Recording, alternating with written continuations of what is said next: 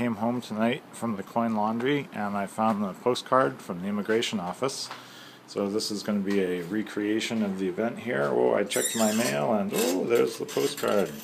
So the way that the system works in Japan from the immigration office is when you apply for something like an extension of your visa, you give the immigration office an application, and along with the application, you give them um, a postcard on which you write your address.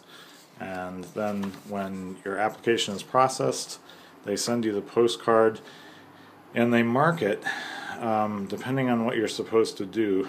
Uh, if they've processed it completely, you might have to pay them, and if they need more paperwork, then they circle that. So I can't read what this says. It's a little confusing. Last year they only circled number three, and I had to pay 4,000 yen. So they've marked 4,000 yen, and so I think that means my application was approved, but I can't really tell because they've circled everything.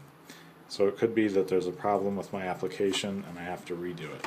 So that's the the Visa postcard system. It's kind of a pain in the butt.